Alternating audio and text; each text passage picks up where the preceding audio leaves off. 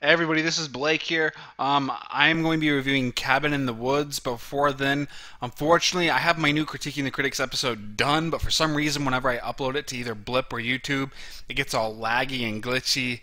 I don't know why. I sent uh, email, I sent emails to both YouTube and Blip to help me fix this problem. Blip responded, but they didn't really help at all. So hopefully, I'll have it all resolved by uh, Wednesday or Thursday. Um, Cabin in the Woods. Anyway, uh, this was one that I was not really sure if I was looking forward to or not. Um, the thing is, I thought the trailer looked kind of lame. It seemed like it was being overly clever. It showed us too much of what was going on, and I, I just got the feeling that I, I've seen this type of movie before. But when I heard the good reviews, I started to get really excited. And yeah, I thought it was a really good movie. But unfortunately, I can't really explain too much of why I liked it because part of the the surprise was just that I was surprised. I wasn't sure what to expect, and um, I love it when movies catch me off guard. Most, uh, especially horror films, they don't do that too often. Uh, so I, I hope I make a, a good enough case for why you should see it. For one, the characters are all pretty likable. Um, they aren't especially fleshed out or developed too much, but it seemed like the writers made it made a point to acknowledge the stereotypes, but then not be bound to them. Um, the jock, for example, is shown to be academically successful. Uh, the the geek of the group, um, he's shown to be pretty athletic. The slut isn't necessarily a slut. The virgin isn't necessarily a virgin, and um, the stoner. Well, the stoner is still the stoner, but he's the most entertaining of those characters. And um, this this just made them all very endearing. The actors do a good job portraying them. Uh, they got Thor to play one of the roles. This is before, of course, before he actually became Thor.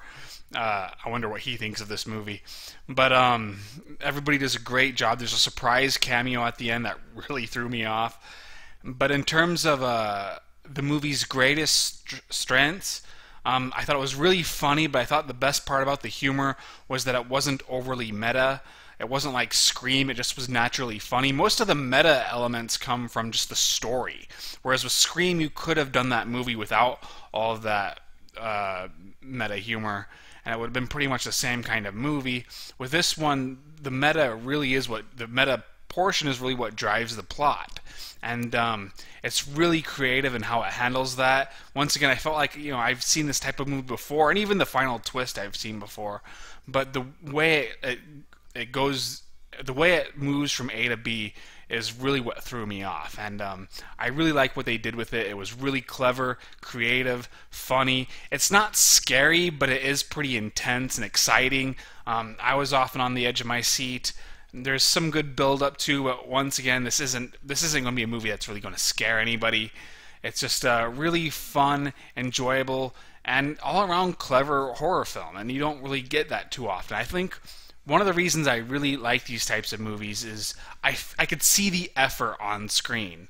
Um, with horror films, when it comes to their scripts, usually they're very by the numbers, below average. They're just they're just there so people can get naked and die brutally. But with this film, they really put a lot of effort into writing it clearly, and um, it really shows on screen, and that's that's always a nice thing. So if you're a horror fan, definitely check this one out. I thought it was great. But uh, even if you're not a horror fan, I think you'll still will enjoy this movie. It's it's just that fun. I had a blast with it. So if you want to read my written review, please check the link in my description. Follow me on Twitter. Go to my website. Uh, and that's all. Hopefully, I'll have a critiquing the critics episode up soon. So wish me luck. See ya.